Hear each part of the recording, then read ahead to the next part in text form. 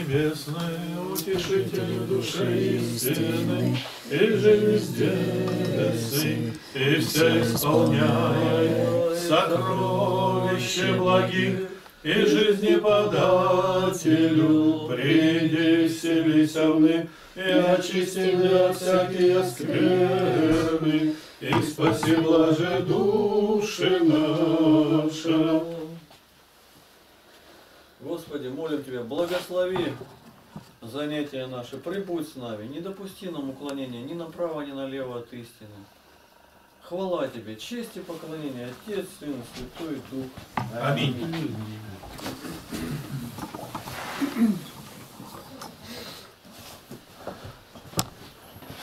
Ни направо, ни налево. Садитесь прямо.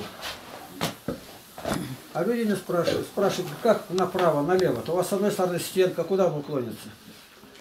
Люди спрашивают. Ясно. Я хотел перед занятием один вопрос задать. Э, 17 мгновений весны по Елену Семенову все видели? Назовите два Да, или три эпизода, которые больше всего вас тронули. Что такое запомнилось, такое место, что внутренность затрепетала. Прямо аж затрепетало. Ну, может, и было Ну, я могу Давай. сказать, когда нас с двумя детьми в яме сидела, Вот в яме, да, действительно, с младенцами, когда сидела, а на ней ходили, которые искали, они пищат ребятишки. Так, Больше всего самое такое было, когда, когда этот адъютант, э, ой, адъютант этот, сержант Фельдфебель, э, у него вот это мучительные переживания, и он этих застрелил. и он еще? Ну, застрелил эсэсовцев. Не понял. Он ну, пер- ребенка, когда они там это, над А, ребенком издевались. застрелил когда? И он, переживания эти внутренние, он заходит, бах-бах, такая неожиданная развязка была вообще. Ну, для меня тогда это было вообще Ну, странно. ладно, ладно, ладно, никто не оспаривает. Так у тебя что? Два-три эпизода можете назвать. Вот Мне- сестра назвала эпизод, я с этим согласен. Это один из моих эпизодов. Мне эпизод запомнился, когда Штирлиц размышлял над тем, как ему объяснить, как его отпечатки оказались Да, на, на да. чемодане. Так, ты какой? но еще когда с женой встречался. О, на сто процентов. А, с женой когда? На сто процентов с тобой согласен. Когда можно было только глядеть, и потом как Придумано на ходу убрал. Ее завели, показали. Вот. А, как, а там не стреляли, не били, ничего. А вот именно внутреннее, вот это человеческое, не по должности. А мне еще близко показалось, вот это у апостола было, когда этот, который посылал его и приехал к жене, жена у нее арестованная, и она ждет, что освободят. Ничего не можете еще сделать. А что он сделать? Ей дали 8 лет. Где-то еще слово сказала не так. И она обнимает его, целует. Ну, он говорит, ничего не могу сделать. И он сам прослезился. Что я могу сделать?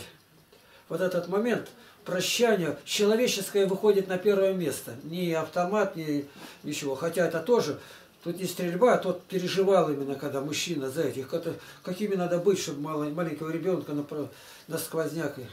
Вот это нам нужно уметь вычленять какое-то событие, которое дальше все остальное за собой потянет. Все, давай. Во имя Отца и Сына и Святого Духа. Аминь. Аминь.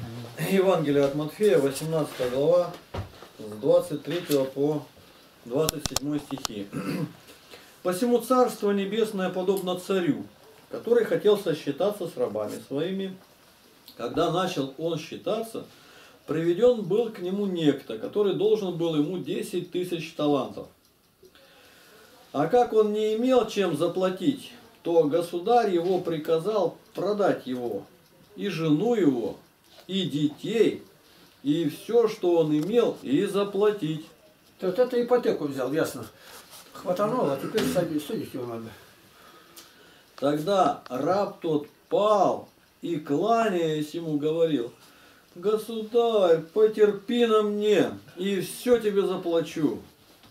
Государь, умилосердившись над рабом тем, отпустил его, и долг простил ему. Толкование. Мысль этой притчи научает нас прощать нашим сарабам согрешения их против нас. Особенно же, когда они кланяются в ноги нам, прося прощения. Изъяснять подобно, а, по- подробно сию притчу может тот один, кто имеет ум Христов. Царство есть Слово Божие, и не какое-либо малое царство, а небесное.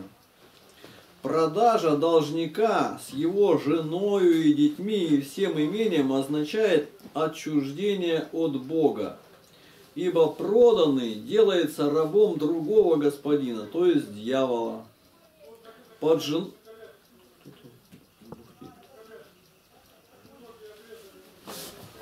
Под женою должно разуметь плоть. Идите, идите. Зачем вы? По- Под женою должно разуметь плоть, супружницу души, а под детьми худые действия, производимые душой и телом.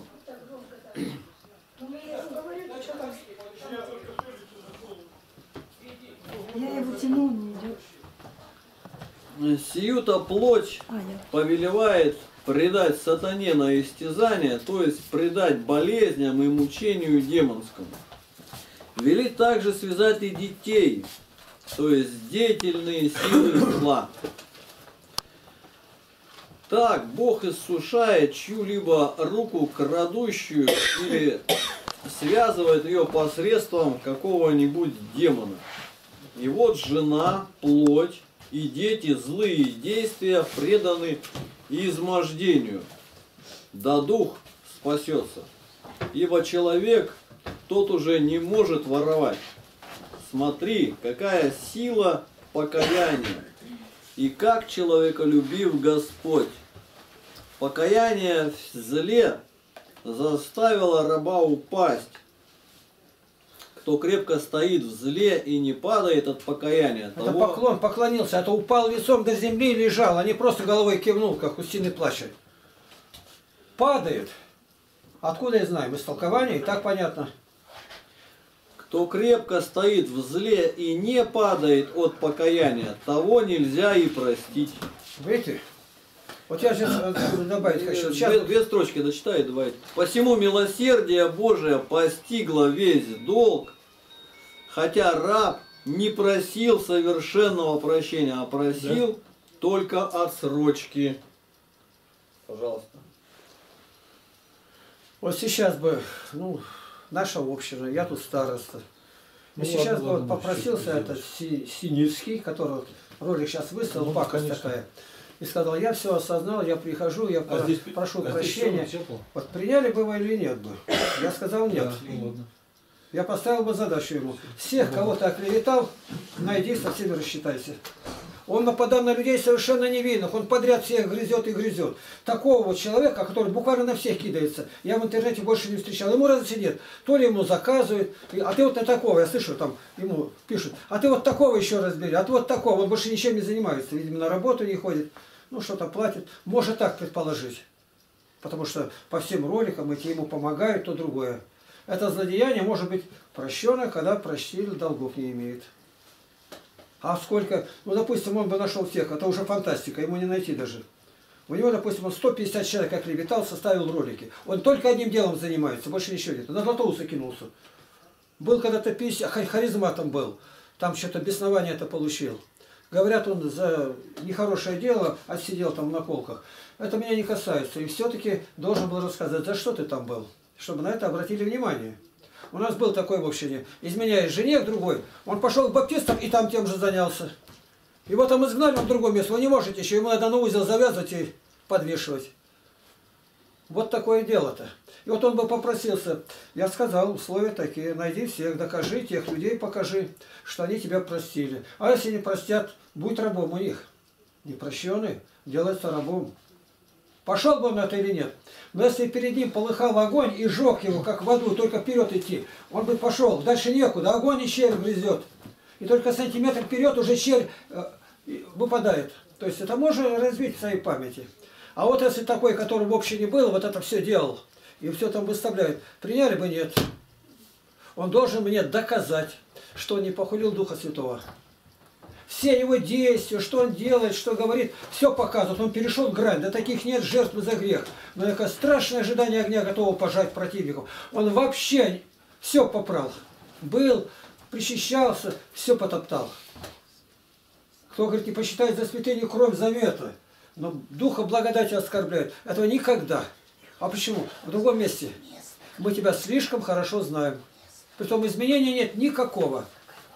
Я спрашиваю, даже взять его, не взять, а тесть, перестал даже, чтобы домой не ходил. А где на Пасху был? Нигде. А не хочется. Пошел учиться в этот академию, тут я не знаю, она настоящая или нет, юридическая, чтобы меня судить. Передали мне. Я жене сказал, да ну, да глупости. Сказано.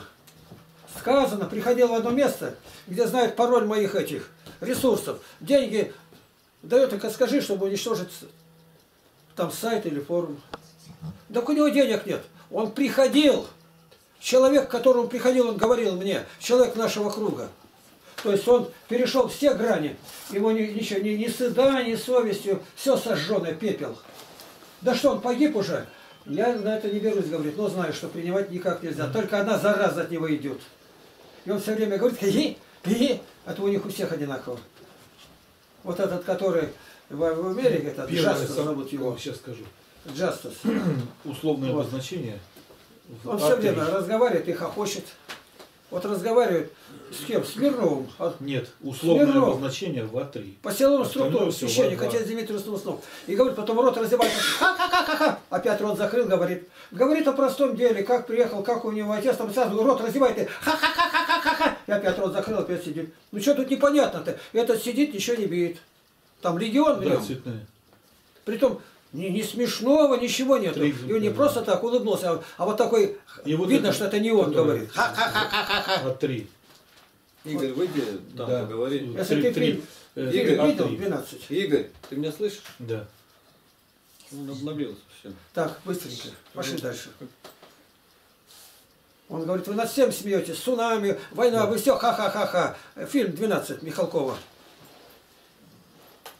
Сейчас в отдельный ролик этот момент выделили. Пошли. Мы даже... Сережа, Сережа, а что такого, скажи? Ну Игнатию Тихоновичу звонят, что ты его не останавливаешь? Мне что, отсюда выбираться, что ли, Выберись. чтобы сказать одно слово? Выберись не одно, не два, и постоянно такое уже замечание делаешь. Что постоянно? Что там было такого? бубнишь. Сережа, постарайся не отвечать, считай. Бубнишь. Не надо, это пройдет. Не пройдет уже. Это лицемерие просто, и Да все, не Сережа. надо это говорить, не пройдет. Пройдет. Евангелие от Матфея, 18 глава, 28-35 стихи. Раб же тот, выйдя, нашел одного из товарищей своих, который должен был ему сто динариев.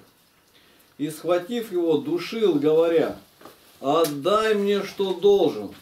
Тогда товарищ его пал к ногам его, умолял его и говорил, «Потерпи на мне, и все отдам тебе». Но тот не захотел, а пошел и посадил его в темницу, пока не отдаст долга. Товарищи его, видев происшедшее, очень огорчились и, придя, рассказали государю своему все бывшее. Тогда государь его призывает его и говорит, «Злой раб, весь долг тот я простил тебе, потому что ты упросил меня. Не надлежало ли тебе помиловать товарища твоего, как и я помиловал тебя?» И разгневавшись, государь его отдал его истязателям, пока не отдаст ему всего долга. Так и Отец мой Небесный поступит с вами, если не простит каждый из вас от сердца своего брату своему согрешений его.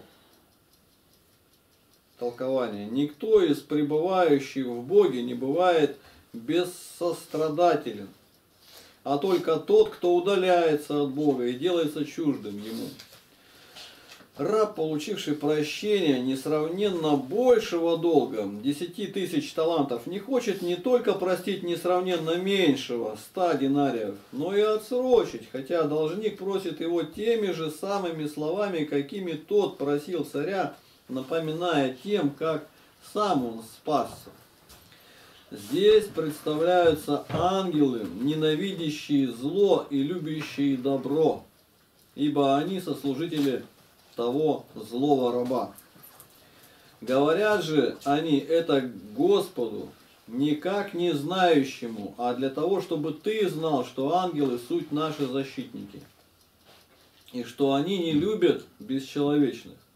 Господь производит суд над злым рабом из человеколюбия, чтобы показать, что не он, а жестокость и неблагодарность раба лишает милости.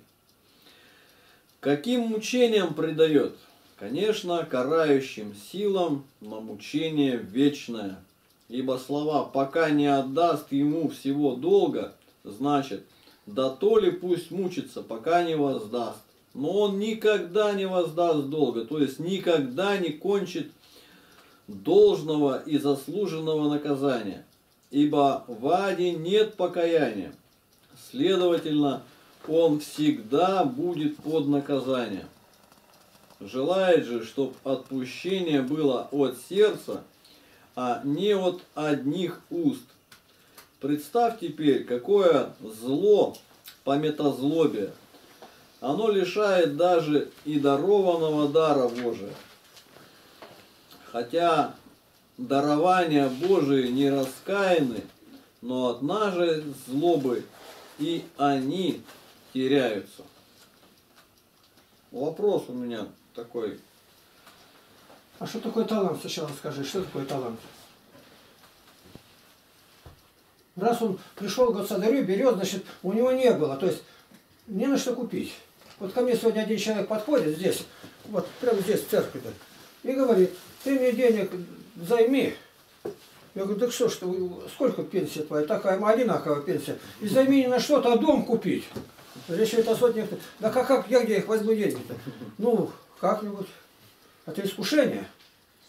Дом купить я должен помочь. Ну вообще. Это как надо мне на горло наступать? Что такое талант? Талант это вес. Я сейчас брата спрошу. Один килограмм золота сколько сегодня стоит? Запиши. Это уже было разговор. Ну, ну, ну, ну, 2004. А? 2400 рублей стоит Грамм. 1 грамм золота. Ну, я приблизительно говорю. 2400 это получается Рублей. 2,4 миллиона. Да. Один килограмм. Да, да. Один килограмм. А мера 24,6 килограмма талант. А по греческой мере 44. Умножь на 44 теперь еще. А должен был сколько? 10 тысяч. 10 тысяч талантов. То есть это триллионы. Это даже ты- 10 тысяч талантов, когда талант столько килограмм, а речь шла только о золоте, не о грязи. Ясно дело, что это невероятное. Мы столько грешим, оскорбляем, там, задолжались, и нужды никакой нету. А меня чуть задели только, посажу я его. Вот тут-то и дело. А он просит. Да просит он, просил, умолял, главное, теми же словами. То есть они из него вышли, к нему и вернулись. Так, Игнатий вы- можно продолжить дальше-то, вы не продолжаете. Талант мы замерили, а теперь давайте динарий замерим. Я замерял Да. в граммах, он есть тоже. Динарий в граммах получается 6 грамм динарий. Все. Да какая это цена? О чем и речь-то идет, что Надо тут надо сопоставлять, вам показывать. У него даже и пенсии не было, тогда же пенсии не выдавали. Ведь тут надо дальше смотреть-то. Вот. Он пришел, столько должен, куда он нахватал. Но эта притча может так гиперболически показывать. Такую стоимость никто и никогда не берет. 10 тысяч талантов нет. Ты посчитай Соломона сколько, храм какой строили. Говорят, говорят так, что на украшение, на все ушло около 2000 тонн золота. Мне трудно поверить в это, но литераторы, историки говорят. На храм. Золотая крыша, там, что делали, жертвенник золотой, там, ни на толщину, ни на что не смотрели. Трудно поверить, да, 2000 это Не- очень много. невер- невероятно. Даже 2, 2 тонны, и то это много. Это, ну, Может, это еще 2000 ладно. килограмм, Да, вот это так. это даже. Я вот посчитал, какая прибыль там у Дерипаски и прочее. Это тоже на золото перевел, такую же цену взял. Это почти пульман э, идет, 60 тонн. Это речь о миллиардах идет. Вы знаете, во что обошелся этот проект, когда Манхэттенский проект, атомную бомбу готовили? Я вчера только еще раз Да, прослушал. Да, да, я что-то такое. По, 14 так те по тем деньгам, тогда доллар-то другую цену имел. Сейчас. 14 миллиардов, да, по-моему? Или 4 Там- миллиарда? Цифра 130 промелькнула. А, 100, 130? Речь о миллиардах идет. Да, миллиарды. Так, Ну, а сколько у них 130. работало там? Не 100, 130. кажется, 130 тысяч человек было задействовано. Это да. Вообще. И вот нам нужно вот из этой притчи для себя взять. Ну, пропадем пропадом, прощаю, прощаю, прощаю, только прости мне, Господи. И Господь вмонтировал молитву, прости нам долги наши, как и мы прощаем. То есть что-то еще непонятно, избавит от лукавого или нет. Я не знаю, я его не видел никогда, лукавого. Ну а долг-то свой знаем или нет? Или то, что я должен, я это не считать? А зачем тогда падал тогда? Он не сказал, я не брал. Виновен. Он пал, поклонился до земли. Когда одну притчу такую разберешь, тогда ты поймешь всю глубину, которая тебя захватила. Я вот все время вспоминаю Евгения Берсье, это проповедник времен Парижской коммуны. И он говорит, 2000 человек было в собрании. Люди много испытали. Вопрос. Сегодня вас арестовывают как графа Монте-Кристо навсегда. Но с поправкой. С собой можно взять одну из книг. Пожизненно. Ты там умрешь. Все с 2000 подняли руку, ответили Библию. Я задавал этот вопрос, в камере сидел, а тут преподаватель второй группы космонавтов, Лозин Анатолий Максимович. А я бы взял там какую-то книгу, ну, что-то с математикой связано. Я говорю, насколько хватило? Ну, на месяц. На дальше. Десять раз за год ты прочитаешь ее, конечно. Она тебе в руки даже не пойдет. Зачем тебе эти цифры? А у него знания какие вот. Мы сидим, а я хорошо слышал. И он сидит, самолет летит. Так это, это 130. Он наполовину груженный. Это надо же так. В камере сидит, так. Вот какое же направление этого нет? Откуда звук послышал? Я говорю, что-то оттуда. Оттуда. О, он путь-то держит. Вон куда? Он на север летит. А там, там всего один город только, который принимает. Ага. Вот когда этого Абеля-то арестовали, потом его обменяли, лучший разведчик-то был, Абель. Его точно так же завязали глаза в самолет, но садясь на аэродроме, он успел прочитать одну надпись. И он дорогой, когда сняли с него все, он увидел звезды, по звездам высчитал, сколько летят, приземлились, он уже знал, в какой город сели. И он сколько-то, ему 30 лет дали, а его потом обменяли-то на хорошего человека. Кажется, на Луиса Карвалана, там с ним целовался Брежнев. Мы даже из этого взять для себя, надо много знать. Вот зашел в эту в ролик, там, там, если не знаешь, ничего не ответишь. Он на своем настаивает. А ну скажи, почему так? Я ему ответил два-три раза, он уже прислушивается.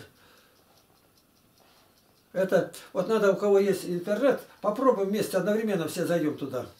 Может быть, что-то своротим там. Или нам голову своротят. Да, вряд ли. О Боге, о любви Божией, о Христе Иисусе. Как сказать? Они просто вы дураки. Так не пройдет там. Это нет. Нет это... Я даже мусульманам отвечал, и воспротивиться ни одного не было. Я не сказал, что Аллах не Акбар, а я свое Иисус Акбар. Он Аллах, Иисус Акбар. И на третьем он перестал, заулыбался и все. Он не враг. Сдался. Он, он Володя тайный враг. Володя что-то хотел прояснить. Можно? Я тут посчитал, пока суть да перец. Оказывается, 10 тысяч талантов, такой меры на земле нету золота. Ее просто нету. Вот так. Я посчитал 400 тысяч э, тонн золота. А откуда 4? У нас всего добыли 50-80 тысяч тонн. Ну, вообще, за все время существования Земли. Ну, ну, цивилизации. Царский, а вот у царя, когда революция пришла, у него сколько золотой запас был? Там 2000 там с чем-то у него был. Так у него Две золотая монета по весу шла. Да. Единица самая, говорит, точная и самая прочная была. Золотым рассчитан, золотом. Да, одно, самый большой запас у него тогда был да. у царя. А сейчас самый большой в Америке. Э, считается до 15 тысяч тонн они накопили сейчас. А сколько в ну, они сколько обоб... никто не знает. Обобрали сколько людей они... Ой. Поехали дальше. То есть мы разобрали. Прощения никогда не получить нам. Нет. Столько мы нахватали всего. Прости, Господи, я молчу. Как Иов говорит, когда в конце уже книга Ева заканчивается, Господь говорит, кто этот помрачающий провидение, говорящий слова без смысла? Я дважды молчу, никому не скажу больше. Так он сказал Господь в другом, он к себе все обратил. Он-то говорил слова со смыслом. Он с Богом не говорил с придыханием. Требуй суда, Господи. Будем судиться, я прав, ты неправильно наказал. Он с Богом-то как разговаривал, как будто за грудки Бога взял. Не так, Господи, помилуй там, а он никаких, несправедлив. Разбираться было. Когда Господь начал говорить, все, молчу, Два раза, одним глазом. Все кончилось. Вот перед Богом это наше отношение. Поехали, брат. Вопрос я хотел задать. Одна женщина мне написала, значит, заняла она денег очень много одному человеку, а тот не отдает. И говорит, какая, говорит, молиться, говорит, я простила, говорит, его от всего сердца за то, что он не отдает. Вот, какая вот молиться, чтобы Господь-то его не погубил. Вот. А я-то думаю, ну я и написал, читайте 18 главу Евангелия от Матфея, как раз вот то, что ну, как бы это.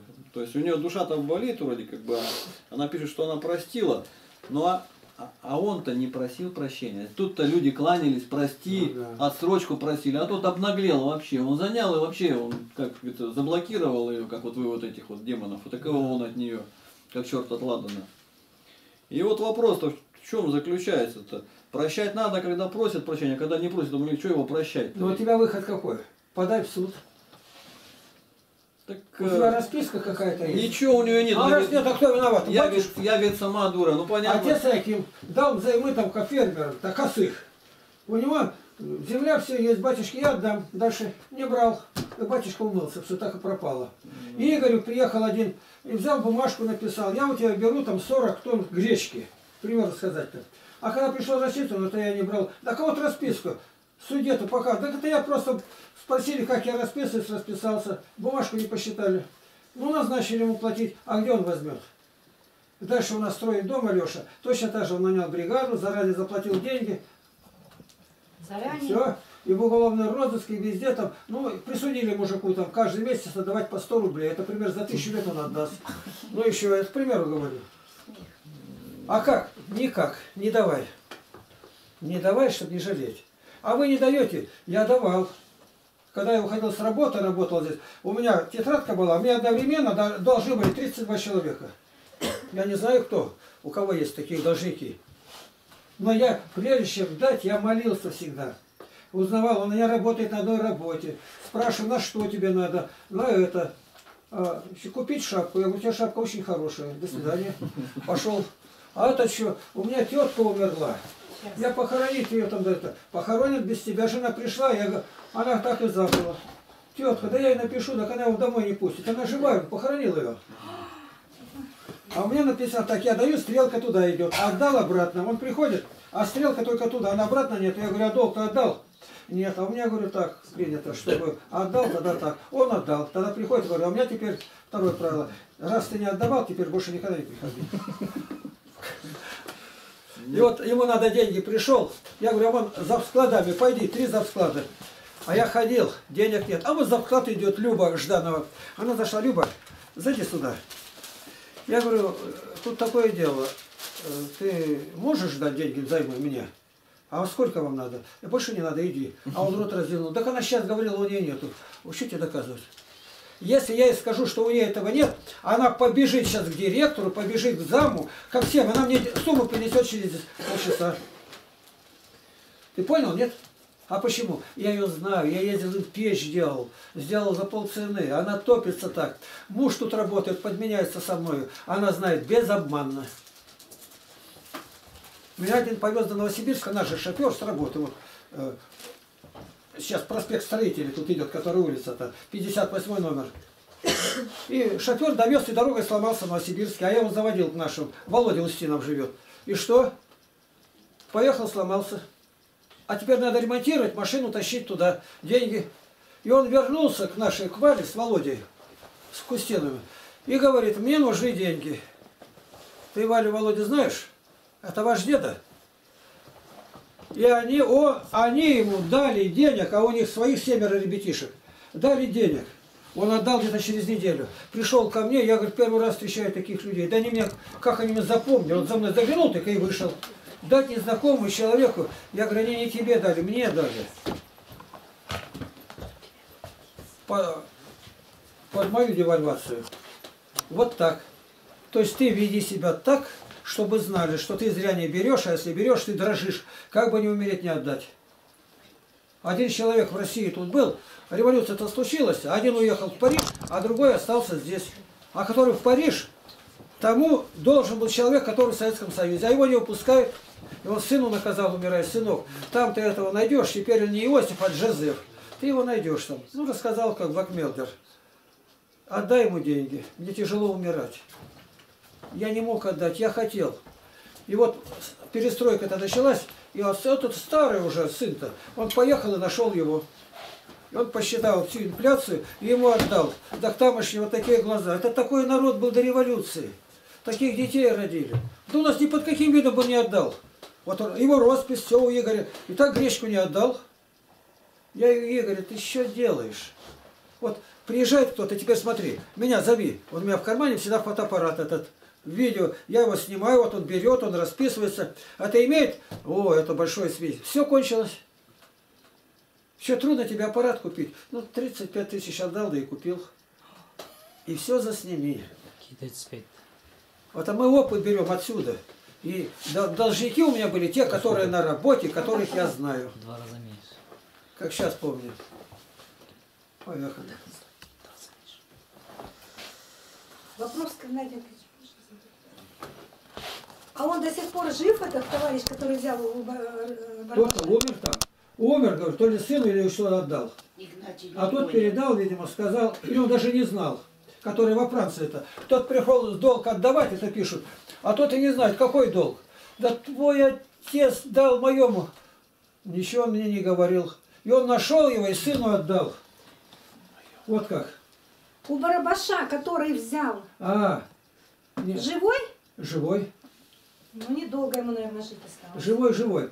Ну, я, конечно, Игоря поукорял, как такие машины нагрузил гречки, выращивал. Доброе И христианин. еще нету. Как? Это вы заснял его отпечаток, отпечаток пальца взял с него. Ну, можно было что-то сделать. А Игорь простодушный такой. По-нашему говорят, простодыры. Так же нельзя. Батюшка тоже дал деньги. Отдал и с концом. Как? Написано же, просящему у тебя дай и не требуй назад. Да. Я и не требую, он сам должен отдавать. Я ему дал на год, он должен отдать. Ну, я сыну тоже занял, говорю, сынок, верни деньги. Там, говорит, а написано, просящему дай и не требуй назад. Я говорю, да я, сынок, не требую, не требую. Я и не требую. Ты должен отдать, отдай. Или Сразу. А вот у меня хорошо, кто бы ни просил, у меня нету. Нету. и Сразу написано. все, я прав. Я правильно говорю, кто просил у меня сегодня? Его тут нет. На дом просили у меня денег. Вообще обнаглел. А что не на самолет? Где он? Где он там есть? Печку. Он, он за печку-то рассчитался, ему сделали. Печку сделали, сапоги ему теплые купил, и нет, еще и дома мы его построили. Я ну, наглый как поп. Его надо к этому. Сапоги ему тоже купили эти, да? конечно. Кто купил? Ты?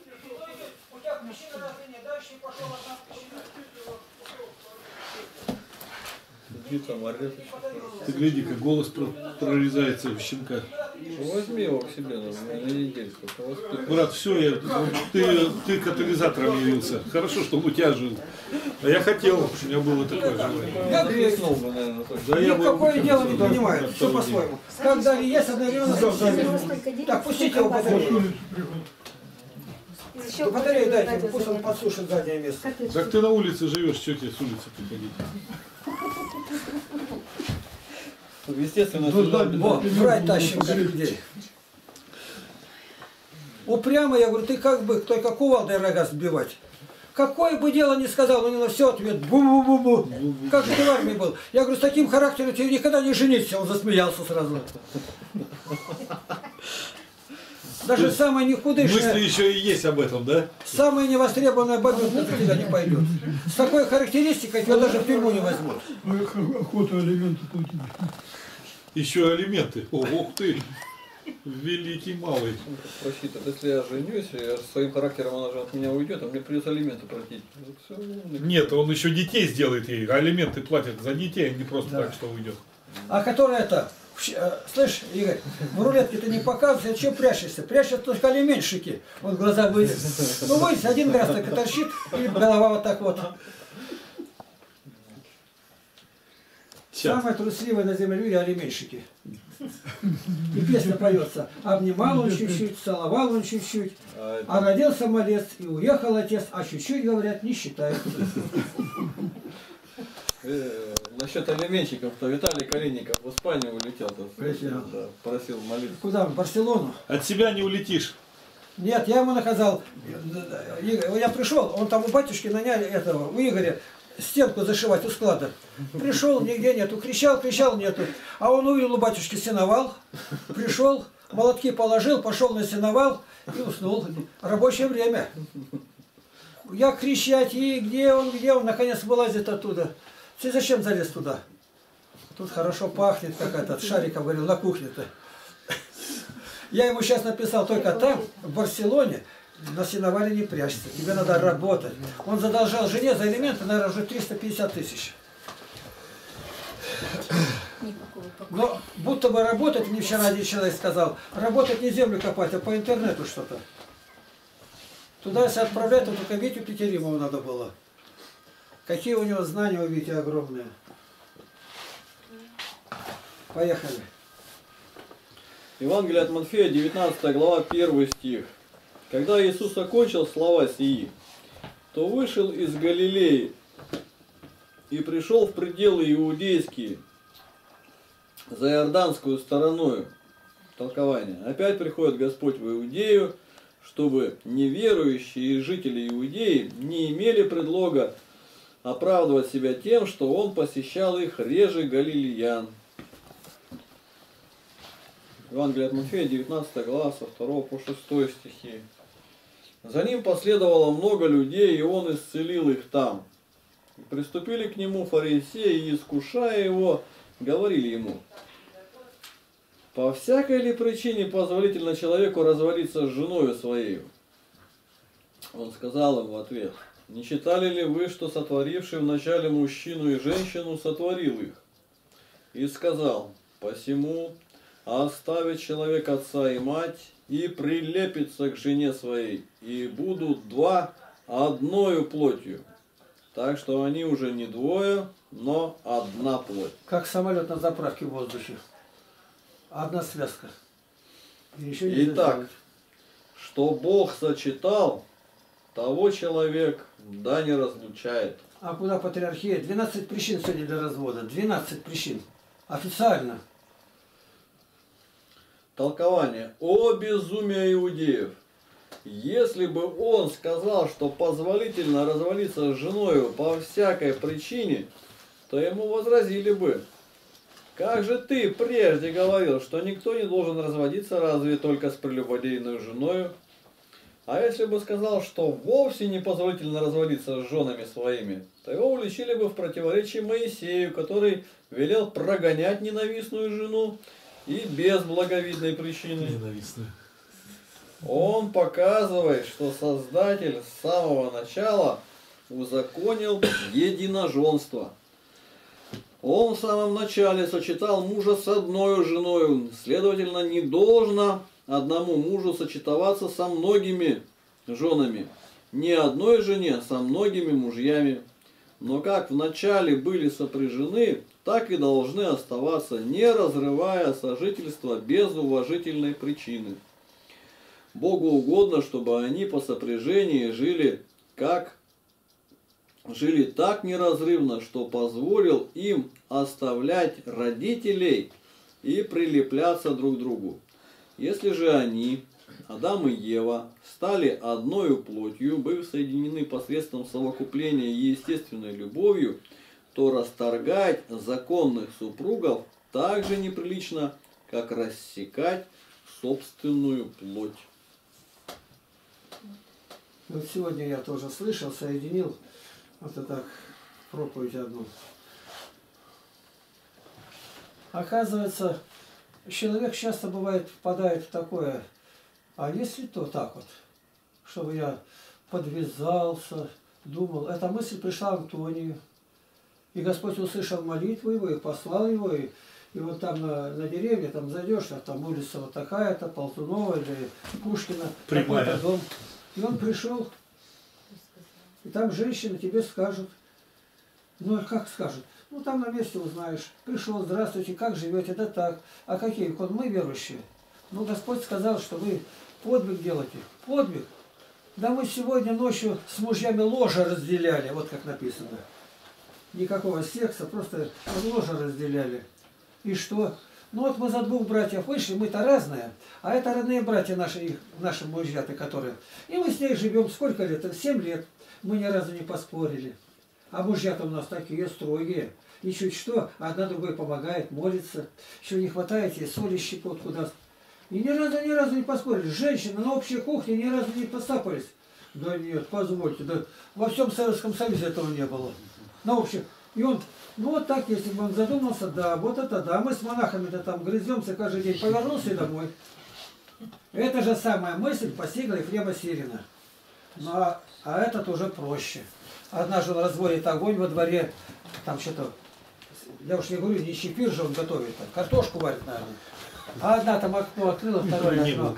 Может, тебе чего-нибудь не хватает? Он говорит, не хватает. Песка до кирпичей, чтобы заложить тебе окно. Сразу ее отбрил. И вот когда он подумал, что ему равных нет, то Господь ему заговорил и сказал, пойдешь, кого первого встретишь, тот тебя научит, покажет. Вот это да. Идет первый, идет блудица с ночного дежурства. Так, ну, а, что, ну, а? Он уставился, и она смотрит, молчит. Он говорит, а что ты на меня уставилась? Что, я из ребра взят, и я на тебя и смотрю. А ты из земли взят, смотри в землю. О, Вот это баба. Он развернулся, да и домой. А сейчас газета пришла, не какая-то путинская, российская газета. На курорте мусульманин. Видно, шейх какой-то идет, а рядом с ним вот так за руку ее держит. Женщина идет, мешок надетый, и вот такая у нее прорезь. А почему? Да потому, что она мужьей-то всех видит, а ее никто не видит. И это по закону. Ее-то никто не видит, мешок один и все. А у нас-то как, она блузка у нее до колен, выше колен на, 8, на, на 28 сантиметров, и все прозрачно. Ну, известно, что мужик надувается. И что ж спрашивать-то? Как быть-то, быть дальше-то? Одно только закрыть. И поэтому мусульмане делают правильно. Она хиджаб надевает и подожжу. И она вот так вот смотрит. Она нужно. Почему? Женщина в муже нуждается во много раз больше, чем муж в женщине. Он муж раз и поменял, мы завтра пошел в другой дом, зашел где-то, где красные фонари сверкают или желтые. А женщине нужна скала. Ей нужна защита. Смысл-то в этом понятно, что ей одной никак, и она знает, что вся надежда на него защита с чьей стороны? Его. Мужа-то дома нету. Вот так. А жена кто такая? Это Расул Гамзатов пишет. Мудрец один встретил, такой мудрец с, с другом, а тот рад, то говорит, я говорит, сейчас живу, у меня все есть, особняк и прочее. А женился, о, женился, а жена у меня вообще красавица так. А может к тебе прийти? Да приходи, я рад буду, старый товарищ. Но он пришел не в 6 вечера, как говорил, а в 2 дня. Пришел, здравствуйте. Здравствуйте. А кто вы будете? Да нет, я просто так вот хотел узнать, тут где-то у меня друг жил. Ну и что? Я теперь его жена здесь. Так а можем? Никаких, разворачивайся. Он друга это встретил, друг говорит, как? Ничего, я проходил, у тебя хороший дом у тебя, но дверь у тебя неважная. Дверь, говорит, слабая, она с петель слетает сразу. Тот мужик дома пришел, дверь потискал, дверь хорошая. А в чем дело? Приходил такой-то, приходил. Еще, да прогнала его. Вот в чем дело-то. Он тогда разовелся, он мусульманин, через забор соседу крикнул, сосед, я развожусь с Наташкой. Сосед, я, да я слышал, три раза должен крикнуть. Если он подтвердил, что слышал, все, в дом она уже не имеет права заходить.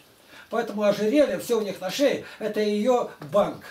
Ей уже в дом заходить нельзя, если она не беременная. А беременная, значит, она должна родить, год там покормить и из-за двора долой, а сына оставляет дочь. Все ее. Такие законы у них. И тогда в следующий раз он пришел, а та приветил, да пока в саду посидите, чай вынесла, там муж скоро придет, только не уходите, он будет очень рад. И когда он, он не пришел, другой раз встретил, и как был, был. Дом-то у тебя хороший, но дверь, где ты такую дверь достал-то? Вот и все. У меня один знакомый. Я говорю, ты когда женился, что главное в жене искал? Ну, чтобы такая красивая была. А сейчас что тебе дурак был? Не это искал. А что надо было? Послушание. Послушание. А она везде себя показывает умнее меня, а мне это не нравится. Я у нее на дому, мы ночуем там. Я говорю, ты одна одна, а муж где ушел другой. Почему? Я все время показывал ему, что я грамотнее его, что я больше знаю. Ну, а он даже подравняться не давал им. А сейчас подравнялась, никого нету одна. Это кто говорит? Валентина Сартисон, Валентина Дмитриевна. Мы у ней были прекрасные женщины, ничего не скрыла. Надо правду сказать. Он едет так, эх, Марья, всю жизнь ты мне испортила. Она, я Иван дура, пошла, мамка говорила, не ходи за пьяницей, я всю жизнь с тобой мучаюсь. А если я промолчал, это не худо было. Вот ще- смотрим «Судьба человека», там Андрей Соколов. Я, говорю, другой раз иду с работы, мне улица кажется узкая, ну, от стенки к стенке домам бросает. Приду домой, я знаю таких шалав. Она всячески упрекает, а она меня, говорит, уложит. А утром податься похмелиться еще. Да я как Бог свят, говорит. Еще там полгода в рот не беру, боюсь, как бы Наташку мою не огорчить, Ирину. Вот ведь как. Это пишет Шолохов. Я знаю таких шалав. А что такое шалав? Ну, что-то такое, наверное, не шибко хорошее. А сам он молодец, алкаш. А вы, старые, знаете, как, чему учить молодых? Чтобы старицы учили молодых любить мужей. И детей. Так Павел говорит. А вот это самая трудная наука. А вы научили? Там написано так. Дочка, у меня отец твой всегда подчинялся, и ты сделай так, чтобы он у тебя на побегушках был. И он, мужик, согласился, лежит, щелкает, как телевизор идет, она кричит, Иван, на дачу едем. Встал, пошел, отвез, опять лег, лежит. Все, на 15 лет раньше умер. Разводиться не надо по патриаршему, а только по этой вине. Одна единственная вина. Игнатий Иванович, можно вопрос? Вопрос. Вы давеча на, на собрании говорили о том, что главное для мусульман. Ну, действительно, они сами не знают себя. Это точно. И сказали, что главное то, что они совершают намаз. Да. Ну, пять раз он не То- идет намаз. Когда совершают, я имею в виду Саудовскую Аравию, Я Йемен, понял, я понял. Здесь Я понял. Но все равно мы не можем равняться, потому что этот намаз, он вообще никак не относится к Господу Богу Троице нашему. На кому они молятся-то? Ну, пять, они пускай 15 раз молятся, 32, ну и хоть замолиться. Это же не Богу они молятся. Нет Богу. Богу, в их понимании, Аллах это Бог, всемогущий. Я понимаю, что в их понимании. Ну так и все это мы даже с этим... Но это не в нашем понимании не Бог. в нашем понимании. Но Ну и что хорошего-то здесь? хорошо то, что они вообще не пытаются изменить судьбу свою. Вот тонет он. Ну, бой, ты помнишь тогда этот... Володя, Как? как, этот фильм-то называется на лошадях-то? Ну, я забыл. Идальга. А, и Дальга, ничего себе на Идальга, да. лошадях. И он там, когда Молодец, гонят по пустыне, и он мимо промазал где-то, и в трясину. Он ему бросает веревку, не надо. Раз я ошибся рядом, Аллах так знает, он тонет. И вытаскивать не надо. А Аллах дал ему это. Он говорит, я тебя вытащу все-таки. Может быть, Аллах тебе и помо- поможет дальше-то. Он тонет. А мы, мы просим, Господи, благослови в дороге. Если не так, мы просим, измени. У них это нельзя. У них занаряжено, ничего нельзя сделать. А наше сознание по-другому построено. Как говорят, наш менталитет такой. И мы должны сказать, они единобожники. Они так понимают Бога в их понимании. Отрицать этого нельзя. Они искренне молятся. Они умирают. Это воины, непоколебимые. И когда там в Москве начали, ну, это было с Жахаром Дудаевым, он сказал, вы еще не знаете, что будет. Мы всю Россию на ноги поставим, на уши. Две тысячи смертников уже готово. Женщины идут. Заметьте, когда на Дубровке, там где Нордосом было, захватили-то, они так и заснули. Только вот соединила два провода, рванула, и ничего нигде нет. Женщина идет пузатая. Езжайте мимо, на аэродром едут, работников на аэродром везут. 28 человек.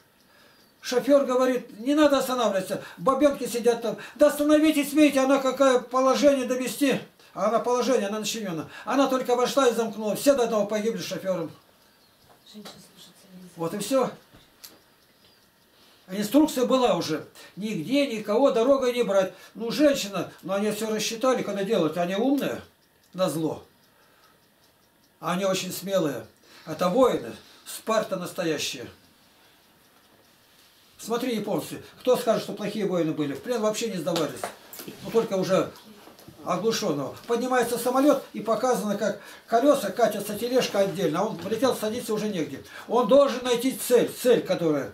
И тогда он бьет его сколько? Почти 50% сбивали американцы, остальных не могли. А у него полторы тонны. И он врезался 3-4 самолета и смене сверх ногами. Игнатий я все это знал, что вы скажете. Вы это уже говорили сто раз. Теперь я дальше продолжаю. Так этот бог сатана у них, самый настоящий.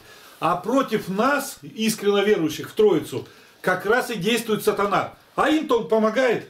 Почему они говорят, если кто-то будет рядом с нами, мы его легко вычислим. Почему? Да он, говорит, или с ума сойдет, или станет таким же, как мы, бес- бесом. Да. Это и понятно. Он всех вычислит сатанюга.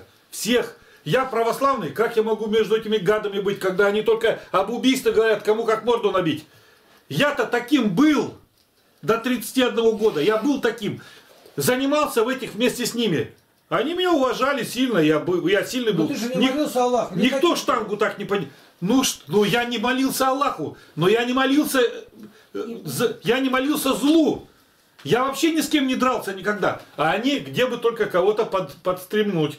И все, только на этом заработать могли. Конечно, так им намного легче. А он и 15 раз сделает им. Ну, православных пятью разами сдолбил и все. Если православный человек, ну он даже не, не совсем прав, молится, у нас, вот смотрите, какие есть люди странные. Они, вот был этот Гоша у нас, он э, десантник, воевать там, все, афганец и так далее. Он сюда пришел, и до него, когда дошло, кто он есть, он говорит, он и, он и говорит, великое, говорит, дело, когда тебя поносят, а ты не можешь убить. А тогда раньше он мог убивать спокойно, он там в Афганистане убивал кого хочешь там. Ему зачем? Зашли в селение, всех по- покосили и все, у них приказ был. Но русский-то человек даже не такой, даже при социализме мы не такие были. Почему? Христос оставил отпечаток на всех. До самого... Даже Сталин это и то признавал. Помните, как он сказал э, Рокоссовскому, когда он говорит, ну, а как ваш отец? Да я, т- отец, что там отец, я уж его и не знаю где, как, а он у него священник. Он говорит, как так, отец есть отец. Кто бы он у тебя ни был, ты это... Обязательно, товарищ Рокоссовский, позвоните отцу. И на следующий раз уже спрашивает, ну как? Это что, отпечаток семинария тоже оставила какой-то на нем? Ну так, ну так как они воспитаны э, мусульмане, это никакого там Бога нет в нашем понимании э, э, Иисуса Христа. Ну, ветхозаветный может быть немножечко там что-то такое, но и то, я читаю Ветхий Завет, сколько любви и милосердия даже в Боге Иегове, в Саваофе, воеводе ангельских сил. По сравнению с тем, какие они. У них-то одно, как вы правильно заметили, как он, Людмила Степановна вам рассказывала. Только поверни их, чтобы он был, толпа вся их была руководящая. Они всех к ногтю. Для того они и заходят. Для того они сейчас там на Западе, что вытворяют с, эти нем- с этими немцами. Сколько там сейчас случаев, что русские бьют им морды? Потом, почему? Ну, потому что они- там у них везде законы, а русским закон не писан. Как и американцам. Поэтому эх, хорошо молиться, когда за тобой сатана, да? И Бог-то не, так не борется с сатаной, как сатана с Богом. Ну а то, что молиться надо, это сто процентов. Молиться надо не, не пять раз и не семь, а 77, как сказал апостол Павел. Непрестанно пребывайте в молитве. А как этого добиться? Братствами добиться. Пусть маленькое, но Христово братство. Вот каждой церкви пускай будет братство. Это да. А у них братство на крови. Как братство основать на любви? Вот мы поехали вчера с братьями, привезли Евангелие там. Поехали на, на благовестие. Но этого маловато. Хорошо есть Потеряевка. Поехали там, помогали. И там брат, как-то это единение братское, оно способствует этому. У них братское единение на то, что каждый должен быть здоровым. И они каждый день встречаются в спортивном зале. Качаются, стреляют, учатся бить правильно ножами. Все у них там есть. Каждый день. У нас как это сделать? В спортзал ходить? Или на что? Вот у нас, слава богу, есть занятия. Поч- Почему мы всех людей призываем, чтобы почаще виделись друг с другом? Вот же написано, если имеем общение друг с другом, тогда только кровь Иисуса Христа омывает нас от всякого греха. А у нас нету этого общения. А у них есть это общение. Но у них на крови все построено. Это страшное общение у них, страшное. Конечно, вы призываете, я не понимаю, к тому, я понимаю прекрасно, что не общаться, но когда постоянно вы говорите про этих мусульман, надо немножко объяснять, что, какое, что такое мусульманство и как наше общение православное, братское должно строиться.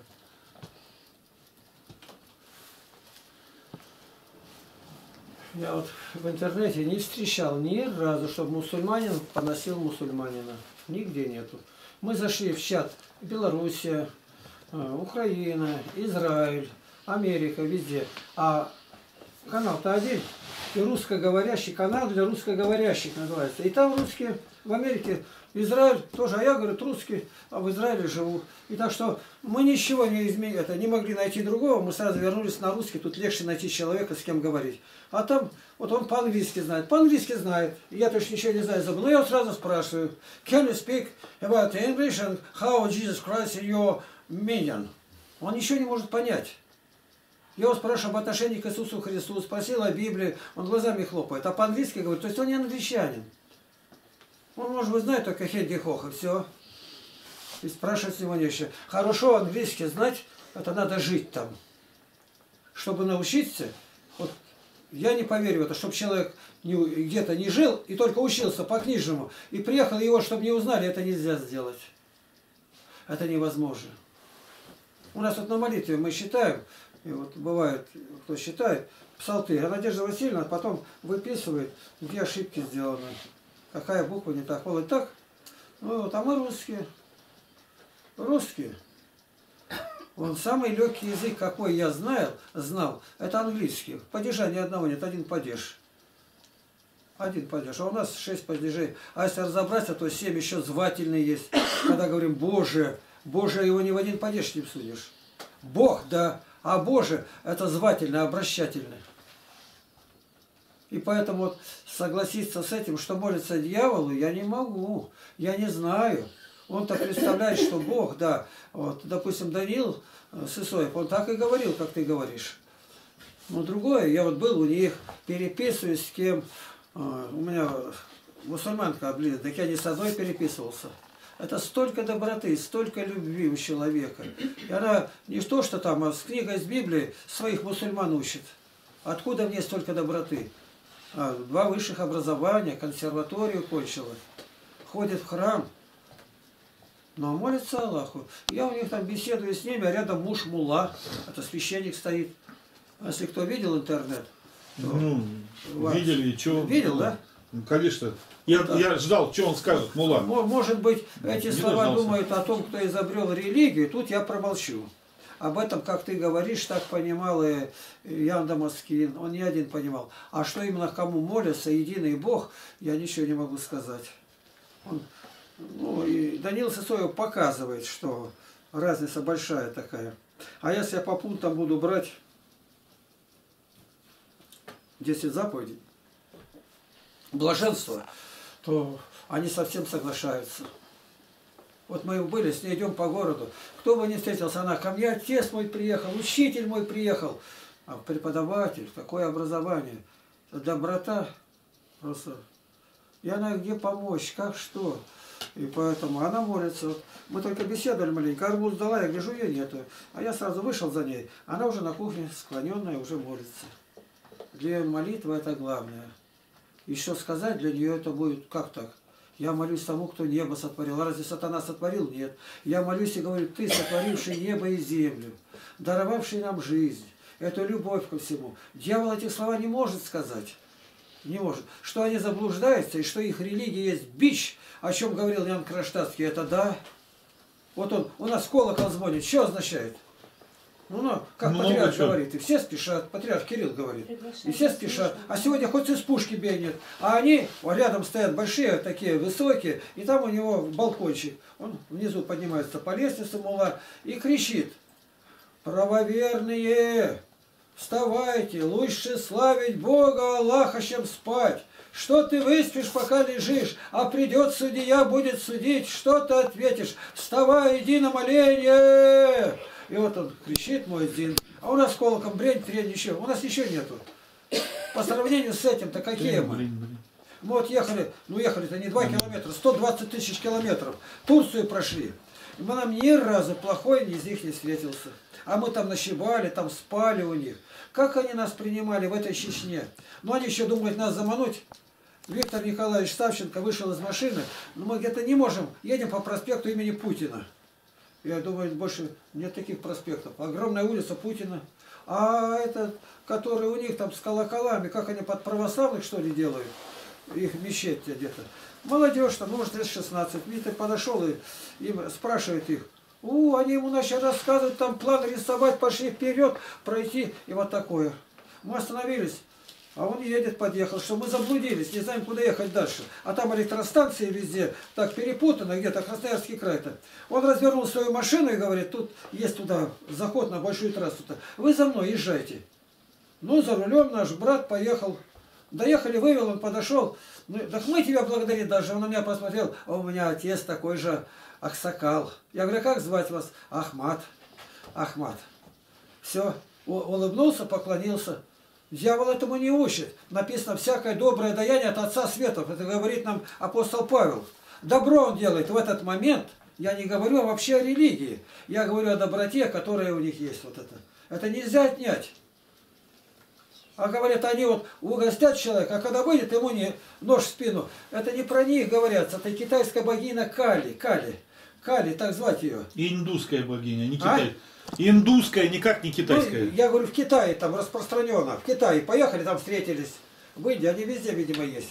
В Индии, я конечно. ни за что не нарушаюсь, я так просчитал. Ну, я понял. И вот они накормят, напоят, а когда ты ушел, дорогой догонят и скальпируют, а скальп продавать будут. Вот и все. Ну. А это не такие вот, я, который знал людей, мусульман, они очень добрые. И при том вот, кому он молится? Допустим, пленного взяли русские, они насильно заставляют плену в Афганистане. Ему предложили, принимаешь мусульманство? Да я принимаешь или нет? Три раза спросили, нет, нет, нет, значит, голова долой. А тут я принимаю, значит, обрезание надо тебе. А потом пойдешь с нами воевать против русских. Я согласен, ну как Власов уже, Андрей Андреевич-то. И вот он там женился, показаны такие ребятишки черномазые у него. И теперь он приехал сюда. Жену взял с собой в Россию. За столом сидят, ему наливают. А я теперь Махмуд, я не, не Вася теперь. Да нам какая разница, выпьем, а мы не пьем, у нас не положено. По нашей религии нельзя. Что его заставляет сатана не пить? Ну, тоже надо думать. Дальше они сидят, и гляжу, он встал, пошел, а те глядят. Он взял свой Дастархан, там вот такой вот коврик-то. И там у них холм, пошел на холм молиться. Да у нас где, когда было, что пленный русский пошел Бога славить по православному? Один случай назовите. Миллиона было их там. И никто не знает. А которые в заключении, они в заключении также. Вот мы едем через Уральский хребет. Мы остановились, и в это время такая же газель, ну, метров, может быть, 50 от нас. Мы говорим, а как похожа машина-то, ну, э, российская машина-то. Он выходит, мальчишка лет 16. Ну, пришел с армии, он старший уже Никита. Он вытаскивает из себя, под себя эту, опять же, коврик, встал на колени, один молится, наклонился рядом с нами. К чему он сатане молится? Он просит защиты. Я теперь разговариваю с ним. А на него уже глаз положили, там ребята, которые пристроились, а там взятки брать. Мы к нам подошли, я собаку вывел, он сразу попятился у нас. Ураган был, он сразу на место всех ставил. Мы пальцем никого не трогали. А за ним наблюдали, они к нему. Деньги, площадка наша, но не, не их, они приватизировали ее. Гляди, гляди, он обратно залез и поехал. Если мы дорогой молились, где-то выходили, а на дороге работают даже вот эти узбеки, они не настоящие еще мусульмане, они нас победы никогда не дадут. За молящегося он голову положит. Я христианин, он в это время забывает, он молится Богу. Христиане, по их учению, не многобожники, хотя близки к этому, потому что у Бога нет... Э, как Сотоварища. А? Сотоварища. Сотоварища а у вас отец, сын, я ему должен доказать, я доказываю, что Бог един, а как так? Ну это тайна, ее нельзя разгадать, ее не, не вместит наш разум. И они стоят на страже. Это было во Франции, в разных городах. Мы с ними беседовали. Он Аллах, я говорю, Христос Акбар, Иисус Акбар. Три раза я все замолк. О, у нас про Иису написано, это пророк. Я говорю, пророк, правильно, с большой буквы пророк. Он один такой пророк. Вот они приехали по Теряевку покупать картошку. Я их остановил, посторонние. Ну, картошку продают. Я говорю, вот такой продают-то. А вы знаете про вот, вот, Мах, Мухаммада? Я говорю, слышали. Это последний пророк. Вы знаете, кто последний пророк? Я говорю, знаю. А кто? Я говорю, Инох и Илья придут. Все, у него здания кончились. Мы около нашли, когда кое-как машину выдрали, там застряли, ну, такая, как сыпущий песок или что-то. И когда ну, придвинулись к забору, маленько погодя, а тут железо везде лежит, мы уже все расстелили, уже палатку ставим. В это время выходят здоровые ребята такие. Так, вы кто такие? Мы православные христиане. Верующие? Да, значит, мы уже зла не сделаем. Кто последний пророк был? Я говорю, Иноха или я? Они друг на друга посмотрели. А что вы делаете, я говорю, здесь? А это, говорит, считаем, делаем подземный ход, как метро. Тут правительственное здание, на другую сторону лес. Они не скрывают. И, а мы видим, самосвалы везут этот грунт из-под земли. Вытаскивают где-то. Маленько погодя приехал начальник, видимо, ему наши документы, ему показать. Мы христиане, мы ничего не возьмем. Ну ладно, откозырял и пошел. А злодей, который сатана, он бы нас убил здесь сразу. Убил и все. А они к христианам относятся так, их не убивать, а только чтобы налог платили. Но закят это у них одна двадцатая часть заработка. Заработка. Вот. А какой они тут наложат в данный момент, не знаю, но обязательно, чтобы платили налог. А один, а со своих они не берут. И он сделал себе шапку, камелавку и торгует, стоит. А кто-то сказал, это христианин. И мимикрирует под это. Подошли, так а ты христианин или кто? Да. А зачем же ты нашу форму надел? Мы уже два раза ходили, с тебя налог не взяли, базарный-то. Его взяли, а третий сегодня никак, его казнили. В жития святых попал. Это я беру из жития святых. А так, чтобы вот э, захватили, и мусульмане голову отрубили в Турции. В Турции это же Константинополь. И там сейчас молятся, и христианские общины, они не трогают. ИГИЛ, даже ИГИЛ, самое строгое у них, не трогают. А там изиды жили около холма где-то. Ну сколько там, мужчин, кажется, три тысячи было, к примеру сказать. Они только захватили, к утру их всех вывели, всех расстреляли. До мальчика. Язычники. По-нашему написано убить, а это дьявола. Дьявол есть человека-убийца. Дьявол. То есть в человеке видишь, как тьма и свет. Это не должно быть.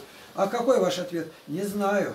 Я только могу сказать об определенных поступках. Больше мне не дано. Я с ними знаю, переписываюсь, молюсь, сказать еще не могу. Они очень строгие в отношении сохранить женщин. Не приведи Бог женщину, потеряет девственность до брака, ей уже не жить, замуж ее не выдадут. Отец своими руками задушит ее. А у нас смотри, что делается. И спрашивать нечего. Ну, хорошее я беру. Хорошее то, что вот, алименщиков практически нет у них. Я говорю о настоящих странах. Его за границей, говорит, доставят, будут пороть, шкуру снимут. И будет кормить. А у нас? У них пьяного ни одного на дороге нету. Нету ни одного 1300 лет. Нам надо это? А то выступает Жириновский, и как далеко делать пивную бочку от класса пятого. Ну, где-то если в магазине, то где-то в уголок. То в уголок кто-то не пройдет, что ли? Да никто не заметит это. А у них никак. Если иностранец выпил, вот корабль заходит в порт Джигду, и они буфет не закрыли. А там встречают лоцманский кораблик провести фарватер, где у них. Зашли, киоск открытый, ведку. Зашли, это киоск ваш, да? А почему не закрытый? Да как не закрытый? Я же сказал закрыть. Не закрытый? Вызвал, не закрытый. Так, арестовать капитана. Два с половиной года тюрьмы, корабль без него ушел. Каждые полгода 40 ударов палкой на базаре давать ему будут при всех. И заплатить там 35 тысяч евро. Все. Так я говорю, когда его освободили, поди, пятками земли не доставал. Закон твердо у них держится. Положено, все закрыто. А бывает, что выпивает? Бывает. Советский дипломат пишет, с этой, сыновья шейхов, у нас, говорит, были, говорит, так с дрожжью в руках, говорит, он берет это выпить, но выпьет, но он уже никуда не выйдет. До утра у нас ночует. А выпить надо. Ему смерть. Это дорогая рюмка. За 1300 лет, и они не развратились хуже, а только строже держат. Вот она в щедре, она смотрит, а муж ее посторонний не видит. Нам это надо или не надо? Андрей Ткачев говорит, это культура-то почему к нам не пришла? А нас раздетые идут. Даже вот здесь верующие. По форме-то мало кто идет. Как только до дверей юбку подняла и понеслась.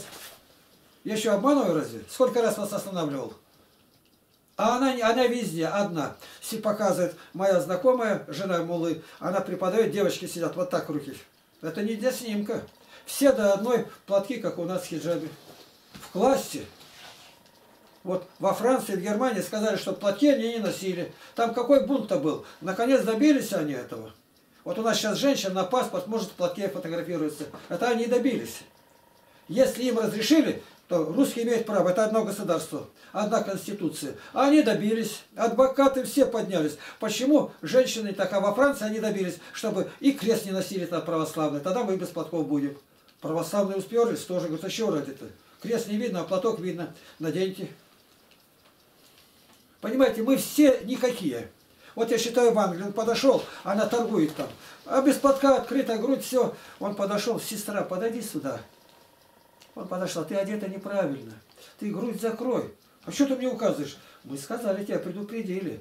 Мы еще раз придем, еще раз предупредим. А третий раз ты сама будешь отвечать за себя. Она побежала к директрисе. А кто? Да вон пошли. Трое пришли, меня угрожают. Знаешь, что надеть. Они не отстанут, они на все здесь порубают, все, полоты уже не уйдешь живая. Она на следующее утро пришла, одетая по форме, все как надо. Нужна рука железная. Нас учить надо. И они учат нас, для этого они пришли к нам. Почему их называют бич Божий, как Тамерлана? Бич Божий в лицо, как Ян Кронштадтский говорил. Таких там правителей. Мусульманство, я спрашивал, для чего оно? Не кого-то, Александра э, Меня спрашивал, Дмитрия Дудко, таких, Глеба Якунина. Ответ один – бич. Бич. И бич в руке Божией, не у сатаны. Бич Божий называется Кронштадтский. Тут надо на все вопросы. Можно вопрос? Сережа спрашивает. Вот вы сказали, они христиан не казнят. Как? Вы сказали, христиан не казнят. Не казнят. А За то, что завоевали территорию, а тут одни христиане. Не казнят. Не считают А там... как вот в Сирии показывали, ряд целые христиан выставили, резали. Это те, которые были мусульманами и вышли оттуда. Вот если у них это есть, если он был мусульманин, а теперь перед христианство, он должен умереть. Ты видела тех, которые бывшие мусульмане, приняли веру Христову. Вот. А мы живем здесь, мы мусульманами не были. Вот в том случае он поступает как дьявол, здесь поступает ну, сходно. А кое-где нам поучиться надо. Как они стариков любят, как они о них заботятся. Ну, почитай Хаджи Мурата Льва Толстого. Это же не я говорю. Тут надо очень быть осторожным. Всякое доброе даяние от Отца Света. По кто это делал? Коммунист, там, фашист. Доброе даяние. Вот генералу дали отступать в высшую землю немцам. После русских все села выжигать все. А он так сделает, чтобы приказ не поступал. Я его не знаю. Оставьте, людям жить негде. Это немец воспротивился приказу Гитлера, Гитлер прямо указал, выжженную пустыню оставить. А вы, когда отступали от Гитлера, вы то же самое делали, свои, свои жгли. Их понять можно, они немцы. И однако находились такие, которые вот так. Вот сейчас ролики стоят, и я, говорит, попал в плен как? Я, говорит, дежурил, вышел, напротив меня трое русских. Стоят с оружием. А я не думал даже, с- там, с блиндажа вышел-то. Один был, что-то охранял. Ну, у меня руки задрожали, винтовка, то другое. Один подошел спокойно мне, я поднял руки, говорит, они винтовкой. С винтовкой поднял-то, отняли, увели в плен. А потом где-то там были, снега начерпался, ноги застыли, пристыли. Его тут довезли до куда-то, и как за ним ухаживали. Женщина, особенно в белом была, мы так звали там, белая там, ангел или как. как Белоснежка. нам говорит, давали пищу, говорит, блин, ну ту же самую, что советским здесь. Это он воспоминания дает сегодня. Я говорю, и нас сколько было, говорит, охраны не было. Никакой не лагерь, больница просто такой. И о побеге даже не думать никто не думал. Куда я побегу? Я понял, говорит, что нам брали, русские не такие. И когда вели, говорит, их да, пленные, да, бабки кидали через головы охранников картошку какую, что подобрали где-то, не разрешали помогать-то им. А один ходил, еще это третий случай был, а он как в свободное время, так ходил по людям, собирал маленько. И остался живой, вышел. И мне, говорит, везде помогали. Ничего у людей нету. Отзывы о русских у них самые благоприятные. Ну, прошло время, он уже побежденный, а он все вспоминает, как его лечили здесь, какие лекарства ему доставали. перебинтовывали, а я враг, пришел на их территорию. Понимаешь, вот надо все в совокупности брать. Доброе даяние от Отца Светов. Оно, может быть, партийное было, это врач. Неважно, это от Отца Светов. Так и написано. Вот он Господа признал. Иисуса назвать Господом никто не может, кроме как Духом Святым.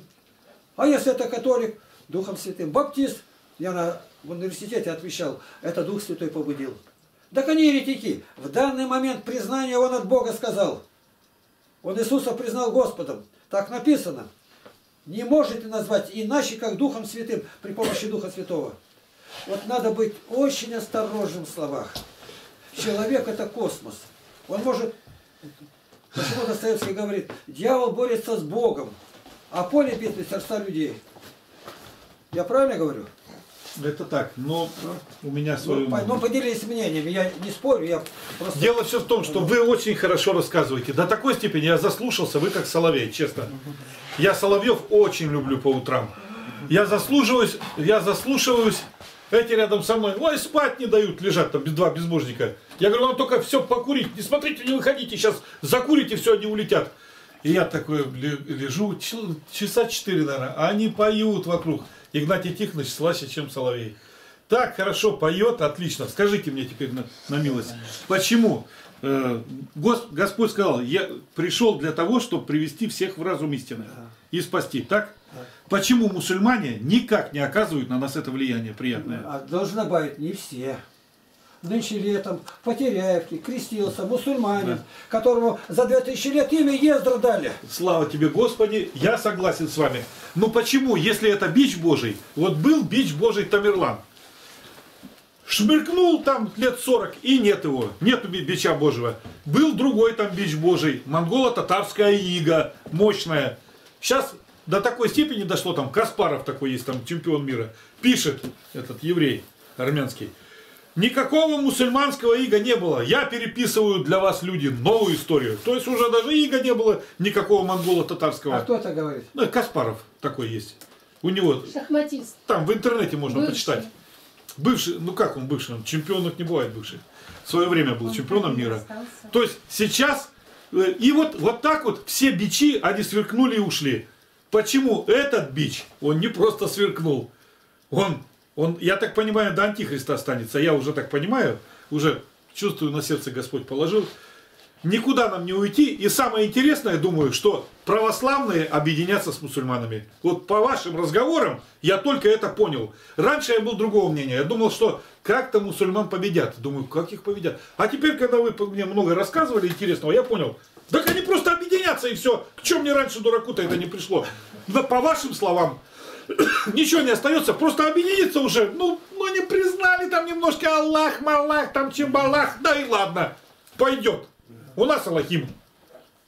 Ты Ну почему никто ко Христу-то у них не обращается? Я беседовал, но если не 200 раз, то 300 с мусульманами.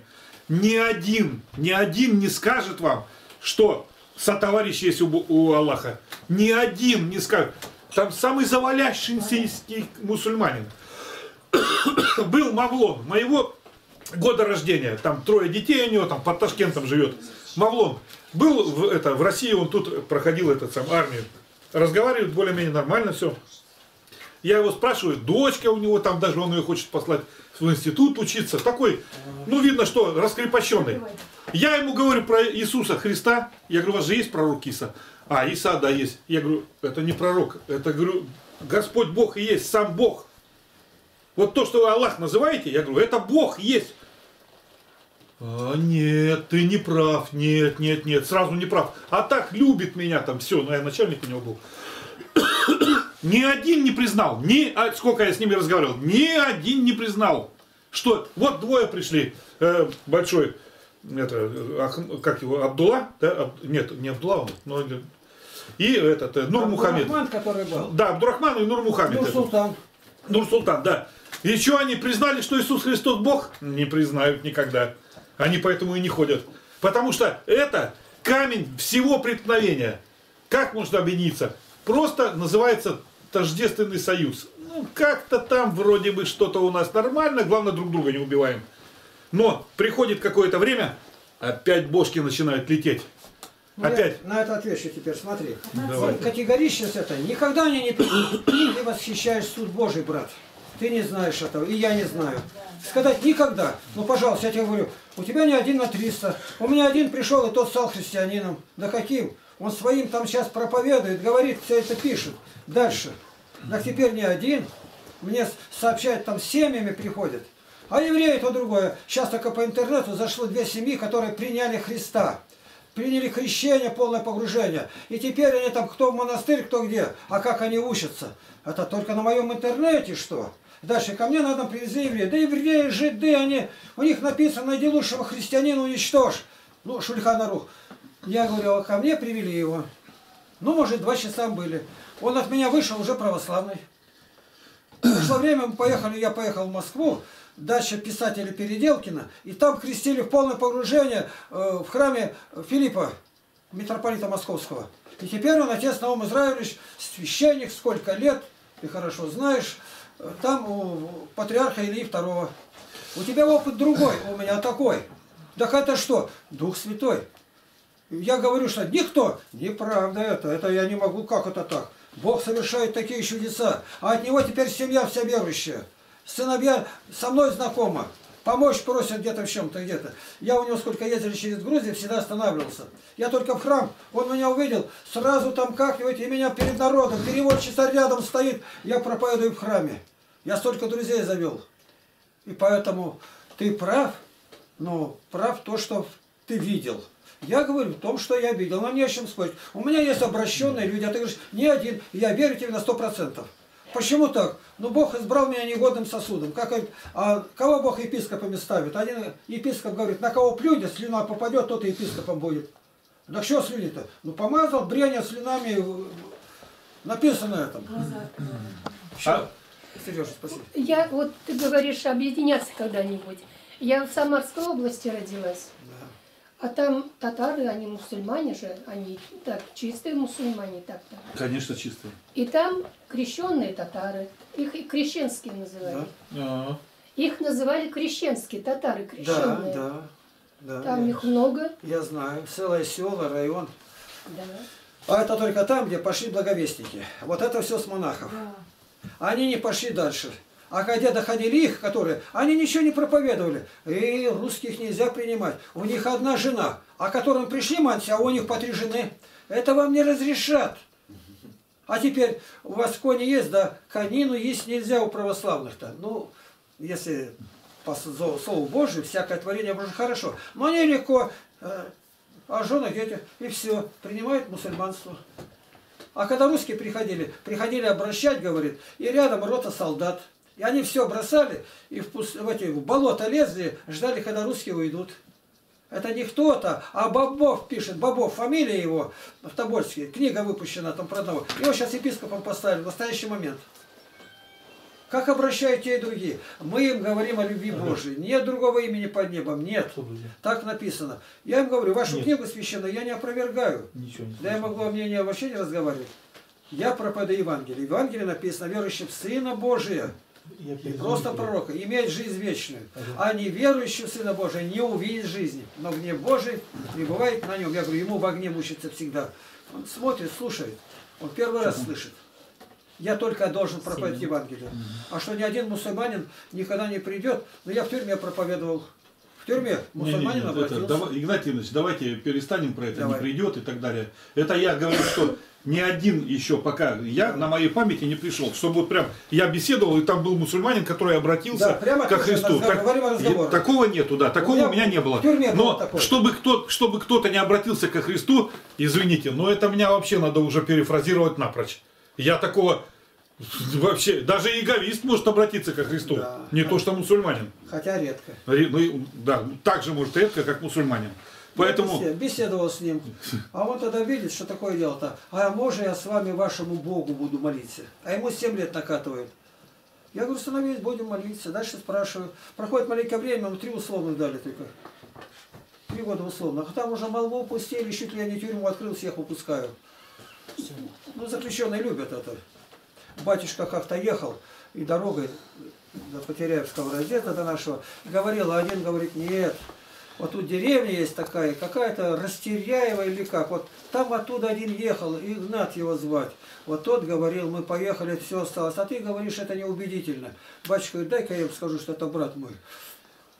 Вот мы два разных человека ехали. Ему дана ходила, а у меня, чтобы ноги ходили. Как прекрасны ноги благовествующих мир, благовествующих благой, а у них ноги больные. Так, понимаешь, это, это не просто так. Мы сеем постоянно семя словом. Вот сейчас только сегодня, кажется, двое зашли. Вчера один зашел и сказать ничего не может. Вот зачем ты зашел тогда? Я не верил, даже не верил, что я вас увижу когда-то рядом буду. Мы уже сколько времени на ваших ресурсах. Знаете, я даже думал, умру, наверное, не встречусь. А теперь говорит, ну вопросы, да один вопрос там по Матвею задал, я уже ролик выставил этот. Это не наигранно, его видно по глазам. Как? Его Господь коснулся. Господь Бог, Духом Святым. Другой зашел, тот не знает, что говорит, заключенный видно. А как вы реабилитировались? Никак. Это решение Верховного Совета принято. Меня вызвали в прокуратуру, дали мне все со всеми льготами. Нет, вот говорят, реабилитационный процесс идет, кто освободился. Это дурь одна, вас надо драть на работу. Вот все лекарство. Вернулись, они теперь живут, их кормят, реабилитация идет. А, вот что. Слово реабилитация это оправдание. И все, больше Нет. ничего там нету. Реабилитация должна настать тут, с покаянием. Без, вот считали, без просьбы покаяния его никто бы не простил. Пошли, друг. А все уже. Все уже. Идем дальше. Все, все. Все. Время. Закончилось. Все, Серафимов наш дорогой, все. самом интересном месте. а? Мы не о плохом говорили. Где были на небе или на земле? Очень нужное, В очень советское нужное. время татары тоже многоженства не имели. То что? Многоженства тоже не имели в советское Да, время. и Не разрешалось. садомитов Гитлер их уничтожал и Сталин сажал. Ну, А Гитлер их всех вырезал, даже свинью не садил. А сейчас Гитлера садомитом делают. Ну, это так уже Достойная. Якова истину, вложите тебя, Богородицу, пресноблаженную и пренепорочную, и Матерь Бога нашего, честнейшую Херувим, и славнейшую без сравнения Серафим, без истрения Бога Слова родшую, сущую Богородицу тебя величаем. Дайте хоть помолитесь. Любящий наш Отец Небесный, мы просим Тебя во имя Господа нашего Иисуса Христа принять нашу молитву о родных и близких, не познавших Тебя. Посети наших болящих братьев и сестер. Пошли им здравие, крепость, сил. Посети тех, кто пленен, кто лишен свободы. Утешь их Твоим присутствием, Господи. Укрепи их, дабы никто не отрекся от Тебя. Научи нас, Господи, ценить и беречь это мирное время. Приготовь народ к великим и страшным испытаниям, грядущим на всю вселенную, по слову Твоему, за отступничество от Тебя. И место себе сохрани, и наше братство и общину. Тебе, Боже, слава за все и хвала, Отец, Сын и Святой Дух. Аминь. Ну еще с миром Божьим по С домам. Богом. Спаси Христос. Аллилуйя. Так, покройте книжки. Книги. Игнатий Иванович, у меня только одна теперь, од- один вопрос все время. Один вопрос, вот вы про мусульман говорите, хорошо говорите так. Один вопрос. Когда вы будете с мусульманами говорить о Магомете? Почему вы не говорите о Магомете и о Коране и не Я говорите... тебе рассказал, три слова для меня Да. табу. Почему? Ну, в первую очередь вот почему. Что мне нигде Господь не послал опровергать что-то. Говорит, идите и проповедуйте Евангелие. Больше ничего нету. А говоря Евангелие, я опровергаю все, что не знаю. Все, евангельскими местами Писания я срезаю все, значит, ничего там нету. И они это понимают прекрасно. А как же у нас? Я говорю, вы появились на 600 лет позже, раз. А во-вторых, у нас откровение от самого Бога. Вы сами не знаете, переделали сколько раз. Поэтому верить надо Евангелию. А Евангелие говорит, там Слово Божие, что если иное будет говорить, не так, как и написано, даже ангел с неба, Джебраил придет, и тогда анафема ему проклятие, еврейский херем на шею ему. Мо- Вот и все. Можно, Игнатий? Что? Я хочу это, вот вы приводили Деяние 4.12, Да. место Писания, а у нас такой вот Игнатий Иванович решил опыт сделать, он молится, стоит, а я проповедую, то есть э, людям, которые там встречаются в чат рулетки, да, вот и попались, мус- э, мусульманин попался, и два этих, э, как они, которые видят в Будду-то, кто они там? Буддисты. Да, вот их не прос- просто видно, что это у них вот это вот, ну и лица у них такие. Ну да. Вот. Он, этот мусульманин стоит, он самый активный, он такой говорит, что вроде, а я твержу только вот Деяние 4.12 место Писания, что нет другого имени под небом. И Господь, говорит, сказал, я есть путь и истинная жизнь, и никто не приходит к Отцу, как только через меня. Он говорит, а что, говорит, «Э, мы, говорит, мусульмане, и этот тоже второй стоит, говорит, и мы тоже, говорит, в аду будем, что ли? Я говорю, Господь сказал, я есть путь и истинная жизнь. То есть я не говорю, что они будут в аду. Я просто говорю, Господь сказал, я есть путь и истинная жизнь. Никто не входит к Отцу, как только через меня. Все. Мне зачем это с ними в этот спор вступать? Я просто сказал. Вот воды, так понятно, Но- Господь говорит, верующим сына имеет жизнь вечную, неверующий не увидит жизни, но гнев Божий Так, пребывает на нем. А что ты боишься сказать, да будут? Ты же говоришь здесь простым вот русским людям это.